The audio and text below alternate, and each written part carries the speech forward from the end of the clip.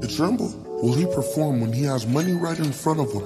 Run up on that boy and kill his cousin right in front of him. I just tapped his shoulder so I know that he is touchable. Put 30 in my chop and then I turned him to a Huxtable. Came a long way from pre-K and eating Lunchables. I just took your life and as you know it's unrefundable. When you up the Smith then you should never feel uncomfortable. Don't waste any time bro, just turn him to a vegetable. Do the job right or you are surely going federal. Go knock on some wood but I just feel I did incredible.